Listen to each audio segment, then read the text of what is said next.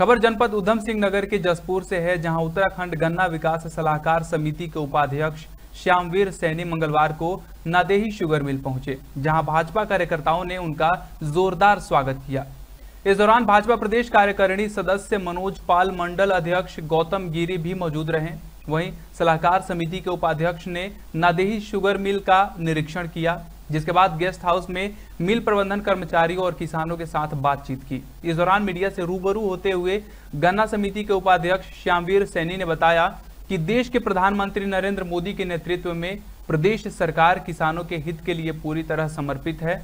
इसके आगे उन्होंने कहा कि भारतीय किसान यूनियन की मांग एक नवंबर को मिल सुचारू रूप से चलने की बात पर मिल प्रबंधन से बात कर शीघ्र चलाने की बात की जाएगी। जसपुर से प्रदीप श्रीवास्तव की रिपोर्ट।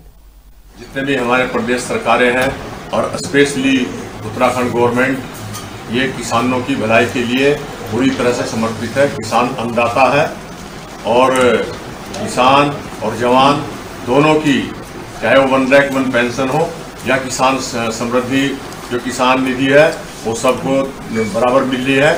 और विशेषकर आज का दौरा, ये सीज़न हमारा शुगर मिल का अभी चलने की तैयारी में है।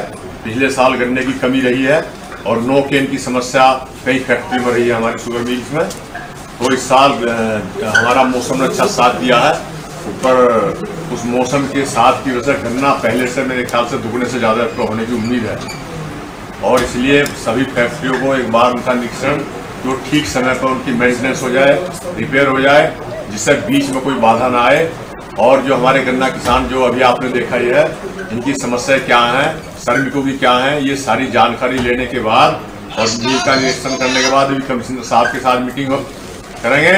और फिर ये पूरी रिपोर्ट जो जो यहाँ की है वो हमारे गन्ना मंत्री के माध्यम से मुख्यमंत्री को दी जाएगी।